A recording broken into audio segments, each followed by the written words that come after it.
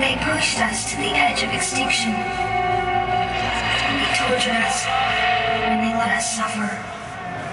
And now they're trying to take our lives.